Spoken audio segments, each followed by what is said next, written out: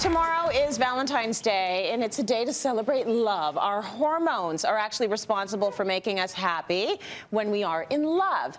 What are they, though? How do they work, and how can we replicate that feeling? We asked our natural health expert, Bryce Wylde, for all the answers. Come on in here. Help us out. Hey, how are you? Good to see you. Nice to see you as well.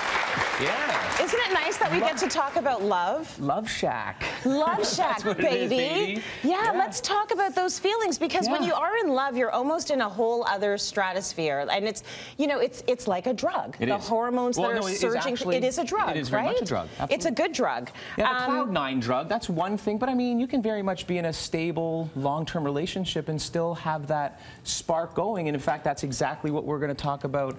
Uh, in this segment is how to maybe even reinvigorate that spark and get those hormones back up to cloud nine. oh, I How's love that. What do we need to do? What do we need to do? It's a plethora of things. Now, Okay. let's start with the biochemistry, because I bet you folks out there right now watching are thinking we're going to talk testosterone.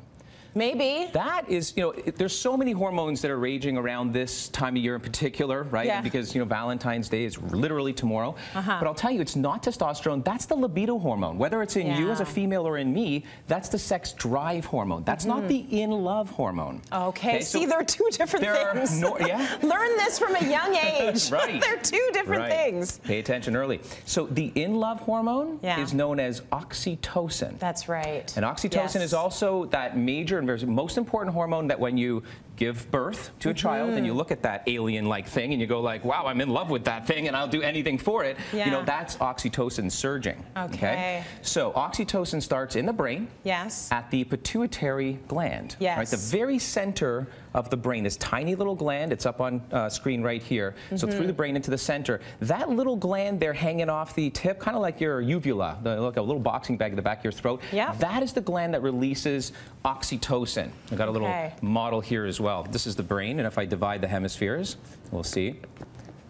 This little gland right here, that is going to surge. One thing it does is actually surges down here to the amygdala. Okay. And the amygdala is the old ancient part of the brain, the reptilian brain, that is in charge of fight or flight. Yes. So one thing that the oxytocin does is shuts down fight or flight and allows you to be calm and relax and focused on your partner mm. or your lover or your baby or whatever it is you're in love with at that moment in time. Yes. Okay. So then we need to focus on how we get that thing going. How do we increase oxytocin, the Yes. love hormone, not just testosterone, oxytocin, to Yes. stay in love and be in love at a stronger cloud nine level? Right. All right. So I'm going to start over here at this side of the table, and it begins with setting the mood. You know, there is something.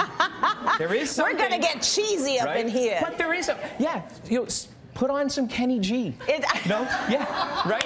You know, this is my favorite. You can Ooh, use we're any, getting hot. Any essential oil that, that might turn you on. But my favorite is y- ylang ylang. Yeah. Dim the lights and turn on a candle. There is science to this. That actually it works? Literally will surge oxytocin. Okay, Yeah. so what is it? It's just atmospheric. Like you're taking it in, and it's got to right. be something that works for you. That's right. If it- it's not Kenny Right? G, then play some ACDC if that's what does it. I mean, it's a but, but music does music does turn that on. Music de- definitely does turn that on. Now, why am I holding up an anatomy of the ear? Because I don't know. That's probably one of the senses that you need to you need to sort of get going. If you massage the earlobe, you can definitely cause arousal, which actually might increase oxytocin. Bingo. But Yeah. more importantly. Put down your cell phones. Yes. Get engaged with your partner and actively Oh, listen. Uh, listen to what they're saying. This is listening, revolutionary. right? Active listening, no Active matter if 30 listening. seconds or a couple of minutes, all it takes, just like that. Yeah. If you're engaged with them, I'm looking really at them listening to you, actively- Not like this, kind of like, oh yeah, yeah, no. I, I heard what you're doing today. No, I did Yeah. hear. That's going to shut them down, right? Right. But actively listening actually boosts um, oxytocin. But that boosts oxytocin for the person you're listening to, or also for you? Actually, both. Okay. Science shows All both. right. Bo- Listen to both. each other and be active about it. Yep. Okay, so you've listened to each other, you've set the mood. Um, what Try else to, can we try do? to get mindful. Whether Okay. it's mindful in the moment, and that's kind of a segue from actively listening, but mindful about what your partner's doing, looking at them, appreciating them, Right. you know, getting back into the mood of the moment. Get mindful about that. Right, because when you feel heard, it is true. You feel you feel better about yourself, you That's feel right. better about the situation, and it doesn't really matter what you're saying. Yep. It's like someone is listening to you Yep. and you feel very heard. Bingo. Okay, so what about getting adventurous? I've heard that this is one of the things that you should do to, to get that gland going. I've heard you, like me, love Yes. the adventure. So the adventure I hate the adventure. Someone lied to you. Really? I hate the Well, adventure. Let's prove it to your viewers here because we've got uh, you being adventurous. so Under duress, okay? I, I would never. There I am in Vegas on a zip line. Guys, this stuff, I don't find this stuff fun. And so I did it. And here's what was brutal about it. I had to take off my shoes. I'm like, I'm barefoot in Vegas on a zip line? Really, guys? Go by all of these uh, people that are standing on the ground on Fremont. Is it Fremont Street? Yeah, that's right. Old Vegas. Went down the zip line, complained all the way, complained to my producer. I complained I don't want to do it. I'm having second thoughts. Let's just forget this shoot. I don't want to do it. Um, I did it, and at the end, I was like, that was fun. Yeah, right. So let me ex- so let me explain the hormonal fun, chemistry just real quickly for Okay. the other nerds that are out there like me. Yeah. Adrenaline's up. Mm-hmm. Dopamine up, the reward hormone, because by the way, you survived it. I survived. But the end result, just like by the way, watching a horror movie, Right. that'll increase adrenaline, but also cause a surge afterward of oxytocin. Okay. Once again, this hormone is the hormone that causes closeness, that, wants, that causes connectedness, that wants you to remain with that individual. It's beyond the testosterone and the and the lovemaking. We'll get to that in a minute. That's So- interesting because I did feel a bond with the woman I ziplined with. Right?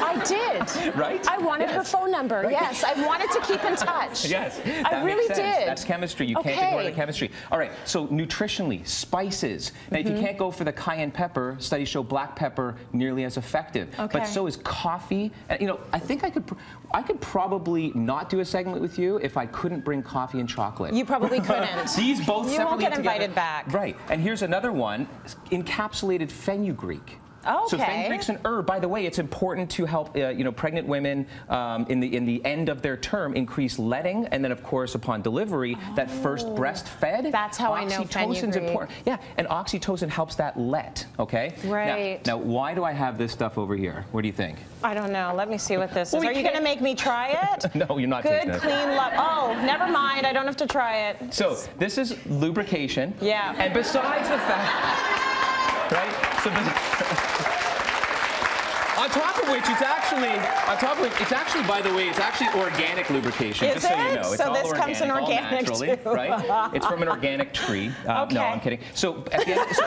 besides what it might do to help the lovemaking that much more pleasurable, it's Yeah. the after the lovemaking effect that causes oxytocin to rise. But here's a little tip. Okay. right? It's not just lovemaking, like intercourse and whatever else you can do in the bedroom. Yeah. It's also, by the way, studies show massaging or caressing each other's nipples with oil. Specifically Actually, the nipples? Specifically I'm nipples. five years old. Why did I giggle? I, I never get. I never Why get did I giggle? laugh. He's laughing right now.